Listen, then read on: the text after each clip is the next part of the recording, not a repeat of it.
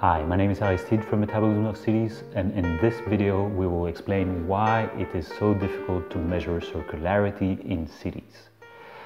First of all, if you want to measure something you have to define something. And in cities it's something that is, well, either lacking or still very new. Um, circular economy has been defined in many different ways. There was a paper uh, back in the day that, uh, that collected 114 definitions for circular economy, and at the end, the author proposed another one on top of all of them. In the case of cities, I guess this is still new because uh, the, the, interest was more placed at a higher economical um, level or scale, let's say uh, economies, national economies, uh, global economies, sometimes companies. So there was this micro, the macro, but not the meso where the cities were lying. Anyway, some definitions of cities exist. Uh, for instance, the EMF talks about designing out waste from cities. Uh, others um, say that, um, for instance, the circular economy in cities is actually a means to an end rather than an end in itself. Um, so circular economy in cities would mean that um, you use circular economy to achieve some of your own objectives, but which are not um, material per se. Um, and some others explain circular economy as, um, or say that circular cities is a city that includes circular economy principles in all of their activities. Now, all of this is great, but it doesn't really help us measure it, right? Because you cannot really measure how much a city designs out waste or how much a city um, achieves its goals with circular economy uh, and not achieving circular economy in itself. Um, so in this video I'll try to explain why it is so difficult to define it and why it's so difficult to actually measure it. First of all, there is a matter of scale. At which scale do we measure things? Um, in um, material flow assessments and in assessments in general of uh, carbon or of uh, materials, we tend to have two different types of approaches. The territorial-based approach and the consumption-based approach. Territorial-based approach is the one that says, look, you have a city, you have a system, you draw a boundary around it, and you just measure what comes in, what goes out, what's consumed locally. Um, the, the good thing with it is that normally you can get accurate data and it's something that you can see with your own eyes, right? So you can, um, I don't know, you can go to the meter of water or the meter of electricity and see how much was consumed. With materials it's a bit more difficult, but still you can see how many trucks arrive to your city or through the ports or through uh, railways. For, uh, but this is great and this is accurate, but it hides a number of things. Today, in a globalized economy, most of our flows um, come through uh, elsewhere, but there are many steps in these supply chains, meaning that um, let's say a phone is uh, designed, uh, so Apple says designed in California, but then produced in uh, um, probably in China, but then the materials come from elsewhere in the world. So there is a number of, you know, points and segments in these supply chains, um, a lot of transportation and a lot of materials that are discarded uh, within extraction or within um, the manufacturing process. Uh, a lot of pollution as well during the, the logistics, etc., etc. So it means that Contrarily to the territorial-based approach where you just measure what comes in, the consumption-based approach takes into account all of the um, supply chain. So really all of the activities that went into making the product. You just don't consume the product, you consume also all of its environmental impact. And this is called the consumption-based approach. So you can imagine that if you want to measure circularity, you can measure it with these two different approaches. One, the territorial-based approach, will say that you have X amount of materials that you try to circularize. The consumption-based approach, because you take the entire supply chain, well, you'll have, I don't know, three, four, five times more materials that you need to make it more circular. This brings in another topic as well, which is for instance, we measured about how how um, how big these flows entering your city is, or their environmental impacts, or sorry, their um, indirect uh, resource use and uh, indirect uh, waste uh, generation.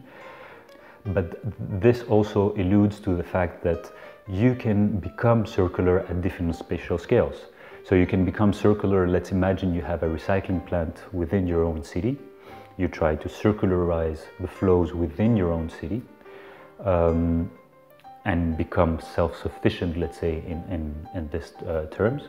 Or uh, you could say, well, you collect all of the waste within your city, but then you bring it to another recycling plant in another place.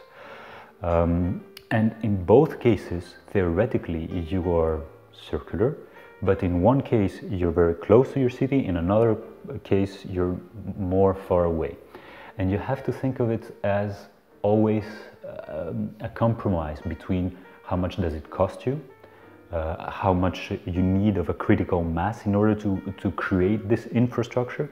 So, you know, for plastics, uh, when we banned, uh, well, when China banned plastics, we realized that Europe uh, is not really um, able to face this uh, plastic ban because we don't have any infrastructure locally.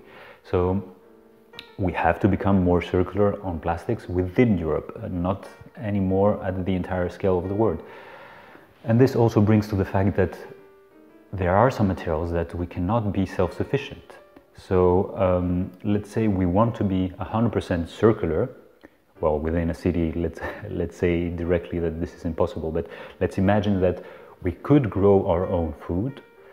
Well, we probably don't have most of the uh, ores that we need in order for in order for us to produce all of the electronics. So it means that you, there are some parts that can be circular locally and other parts that we need the entire world to, uh, to become circular. So this is one huge topic around why it's so difficult to measure circularity at the city scale.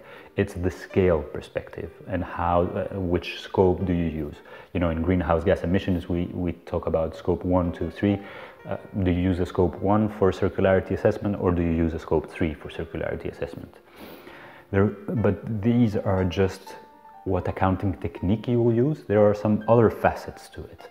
Uh, because a lot of people say that um, circular economy is supposed to be an economy that creates jobs around environmental challenges.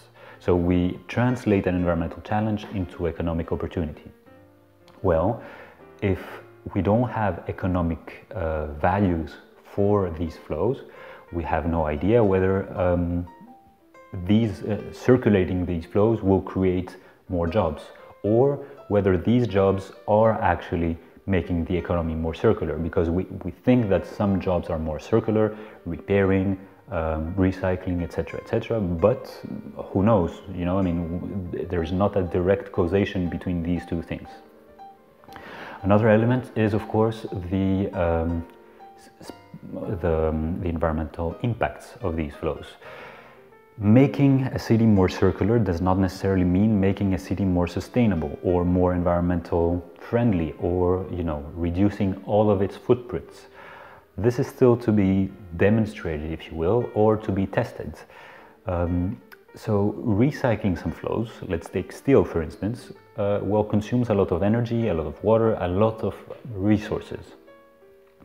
So recycling it and keeping it in the loop might actually be more burdening to the environment than using, for instance, a renewable material such as wood.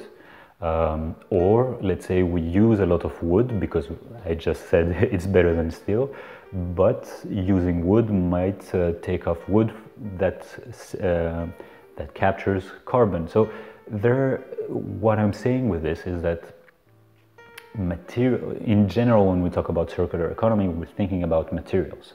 But we have to think about all of the other aspects of these materials. So um, water footprinting as well, energy footprinting as well, carbon footprinting as well, and other uh, life cycle assessment um, uh, points such as uh, you know uh, eutrophication, etc., etc. So this is also one of the reasons why it's so difficult to measure things.